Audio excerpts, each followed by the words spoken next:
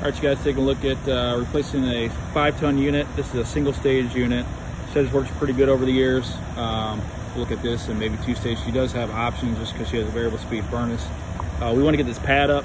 As big as it is, I think it'll probably fall apart. We already got some cracks in it.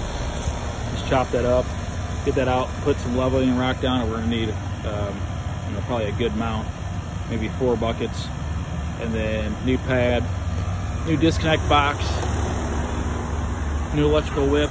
This one's struggling. Pull as tight as it can be. Need a longer whip. And then I just told her we'll put new UV rated insulation over the line set. This is, uh, looks like we're seven eighths coming out. So, so we can clean this up a little bit too. Just make a tighter 90 down and into the unit. Uh, parking just right out front. So pretty short jog over here and then up and around was a walkout. Um, you may go through garage too. That might be the easier path to, onto the coil.